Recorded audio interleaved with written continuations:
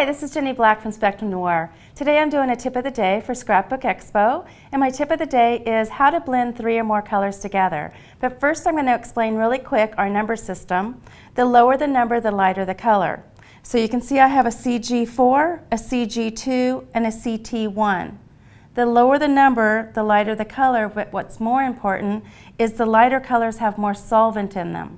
So if I color this color on top of one of the darker colors, it's going to dilute the color. So let's take a peek at that.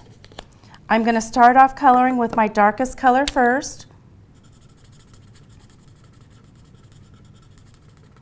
And then I'm going to take my medium color, and this has a little bit more solvent in it than the darker color.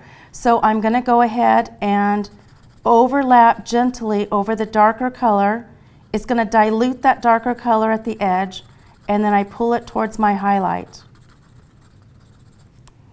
And then I take my lightest color and I do the same thing. I gently overlap the edge of the previous color while it's still wet and pull it out to the edge and then you have a nice smooth blend without lines between your colors. So I hope you enjoyed my tip of the day for Scrapbook Expo.